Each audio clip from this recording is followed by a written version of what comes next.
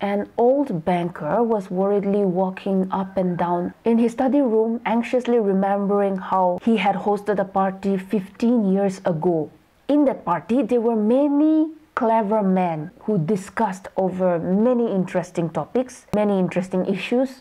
He remembered that they were arguing about capital punishment. There were many journalists and intellectual men who disapproved death penalty. They considered death penalty as outdated, immoral and unsuitable for Christian society. There had been a hot debate that autumn night about whether death sentence was better or life imprisonment.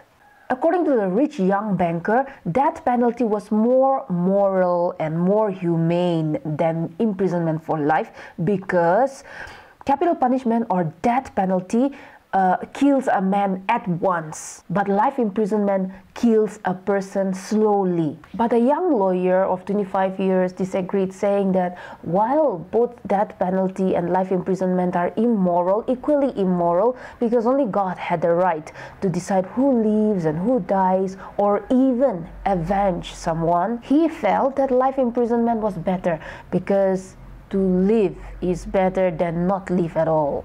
They were so carried away by the discussion that the banker shouted, I can bet two millions that you would not stay in solitary confinement even for five years. The lawyer, too, was so carried away by this discussion and he accepted the bet and said that, in fact, I would not stay just five years, but I would stay 15 years. They both put their freedom and money at stake, and the wild, senseless bet was carried out. They were both young and carefree. The banker now, after 15 years, was an old man and anxiously tried to remember what was the object of that bet. What good came out of that man losing 15 years and him throwing away 2 millions? Does it prove that that penalty was better or worse than life imprisonment? No. It was nonsensical and meaningless. He recalled how the young lawyer went into voluntary solitary confinement from 12 o'clock of November 14, 1870 to 12 o'clock of November 14, 1885. He would not be allowed to see or hear any human being nor receive letters or newspapers and would spend 15 years under strict supervision in the banker's garden. He was allowed to have a musical instrument, book supplies, write letters, drink wine, and smoke. There was a single small window where he received the things that he wanted by writing an order. The slightest attempt to violate these conditions would release the beggar from paying two millions. In the first year, he suffered from severe loneliness and depression. He played the piano continuously night and day. He refused to drink wine and tobacco because wine excites desires, and desires are the worst enemies of prisoners. And tobacco? Tobacco spoils the air of the room. He read novels of complicated love plot, sensational and fantastic stories. In the second year, the piano was silent.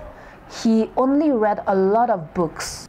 By the fifth year, music could be heard again. He also asked for wine, and by this time, he did nothing but eat, drink, and sleep. He would yawn angrily and talk to himself.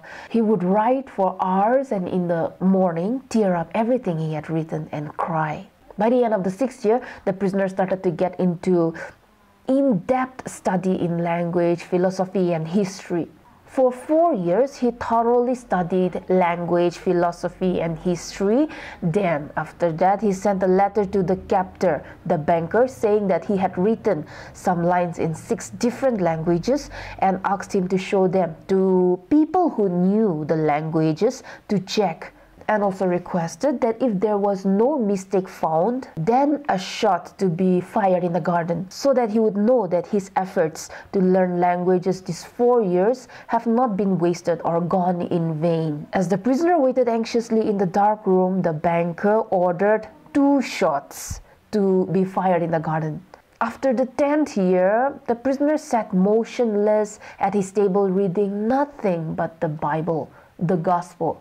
As his 15 years were coming to an end, he read different kind of books without discrimination. religion, science, history, literature, philosophy, novels, medicine. His way of reading books created an imagery or suggested a feeling that seemed like a man who is swimming among the wreckages of his ship and greedily trying to grab hold of one thing and then the other to save himself from drowning.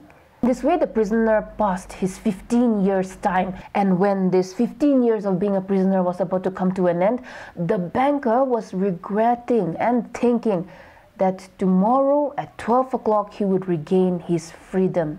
And if I pay him 2 millions, I would be ruined. 15 years ago, the banker was rich, young, and proud, and 2 millions meant not much. But now he was old and not that successful. He even wished that the man had died before 15 years ended. When the prisoner, when the lawyer wins the bet and comes out of his solitary confinement, he would be just 40 years old. And the banker imagined that this prisoner would get married and live a happy life with his two millions, while on the other hand, the banker himself would be bankrupt and ashamed. The only way to save himself from bankruptcy and shame was to kill the prisoner. It was cold, dark, and raining heavily. He took the key and made his way through the darkness into the room. The candle was still burning, and the prisoner sat still beside the table. Five minutes passed, and the prisoner did not move at all. He was skin and bones, pale and long haired, with shaggy beard. No one would believe that he was just 40 years old. The banker thought it would not be hard to kill an already half dead man. But as he watched the sleeping prisoner, he saw a handwritten note on the table, which read that he would forfeit the bet. All these readings within these 15 years had enlightened him spiritually. He had experienced life in a more intense way. Through the books he had read, he had lived, loved, found miracles, preached, and now he despises freedom, life, health of this world. Everything was like a mirage, a worthless, fleeting illusion and deceptive. Because with the coming of death, we would be wiped out of this earth like we have never existed. According to the prisoner, in his handwritten note, it, it read that people like the banker who loved their wealth and power are people who exchange heaven for earth. And to prove his word, he would get out of the room five hours before the fixed time and thus renounce the two millions. The banker had never felt so regretful in his entire life. He was overcome with so much emotions that his tears fell uncontrollably all night. While on one hand, the banker was thinking about how not to lose his two millions and kill his prisoner, on the other hand, the prisoner had renounced everything and gone into a spiritual lifestyle, and he himself had renounced the two millions of the banker. He unknowingly was just about to commit murder, kill someone who was not even interested in his wealth. In the morning, the watchman told him that the prisoner had escaped, and he dutifully went to check the room himself, took the handwritten note on the table, and locked it in his fireproof safe. Anton Chekhov was a great Russian short story writer and a playwright. His stories are a mixture of pathos and psychological insight. That means a mixture of the head and the heart. His themes often includes desolation and gloom of the life in Russia. He deals with the loss of spirituality and character of people living in a disintegrated aristocratic society, people running after worldly interest instead of humanity and moral standards. The bet also talks about man's gradual awareness and progressive understanding of life's realities and the foolish choices that turns a person's life around. That was a short discussion and summary of Anton Chekhov's The Bet. I'll see you in the next video. Thank you.